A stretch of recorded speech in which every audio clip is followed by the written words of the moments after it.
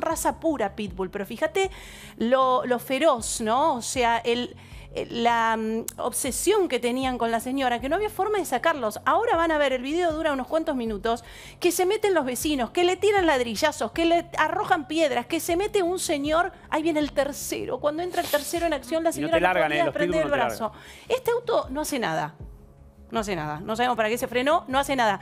La señora quiere abrir no le abre la puerta. No entendimos el accionar de ese señor. Ah, ahí, empezaron, ahí empezaron los ladrillazos. Sí, se va y allá sale una señora de enfrente. Esa casa son los dueños de los pitbull o de la mezcla de estos perros. Ay, mira, mira, mira. Con el riesgo de pegarle a la señora, ¿no? Y la señora pidiendo a gritos ayuda. Lo primero que les queremos decir, Pampa, es que la señora está bien. La señora está bien, fue internada, tiene obviamente cortes en los brazos, mira eso, mira en las piernas. Este es el momento en que los vecinos directamente con palos y ladrillos salen a, defender. Es más, ese joven que está eh, con el torso desnudo es eh, primordial eh, en, el momento en que logran sacarle los perros de encima. A ver, esta señora está viva de milagro, logró mantenerse en pie y ella lo dice, Marcela lo dice, me mantenía en pie porque si yo me caía, la iban a mi cuello. Yo resalto lo que dije en ocasiones anteriores, esto es a modo personal, la culpa no es de los perros, sino del dueño o la dueña de los perros. porque estos perros son violentos, pero porque están mal adiestrados, digamos, o no están adiestrados. Y acá hay un factor. Estos perros tenían hambre. Sí.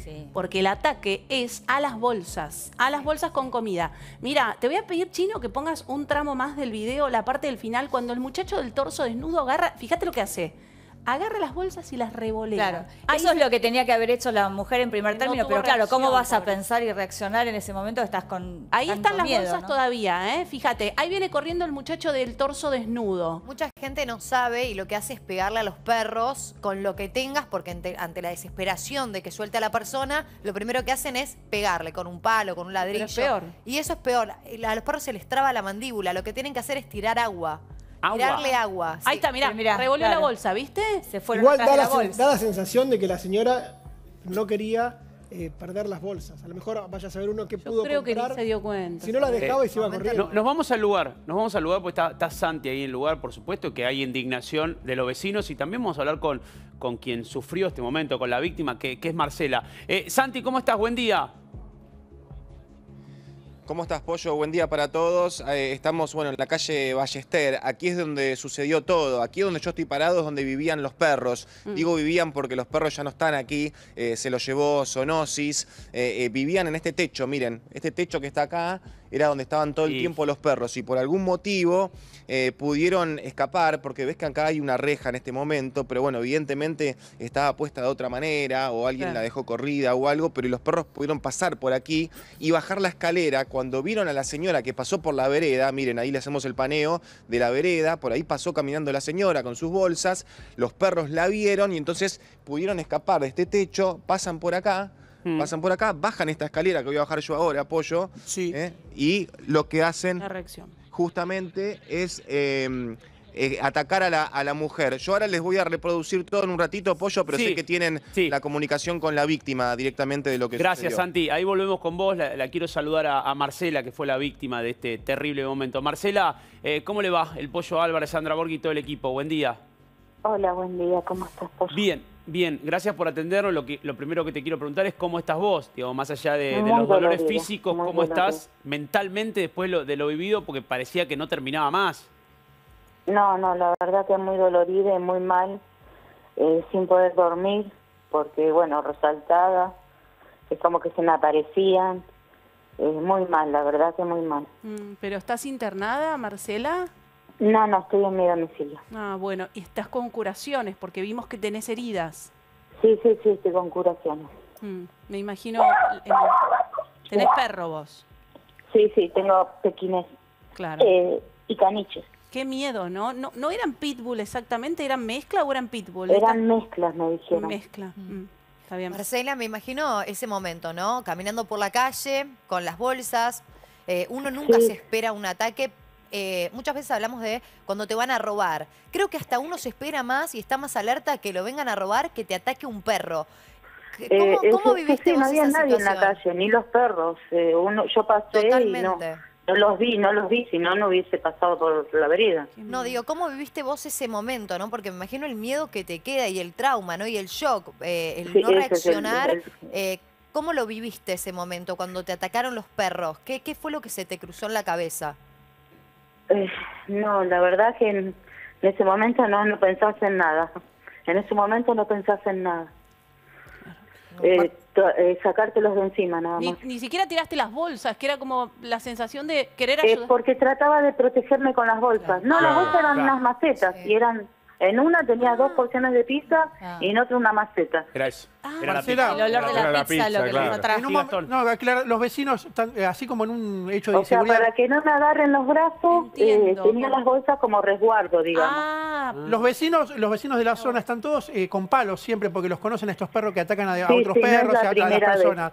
En un momento en el video, Marcela, se te ve como que trastabillas y, y, te caes. Y hay uno de los perros que está al borde de tu cara. ¿Vos pensaste que te mordía la cara completamente? Sí, sí, por eso traté de mantenerme en pie lo más que pude porque no, para que no me agarren la cara y el cuello.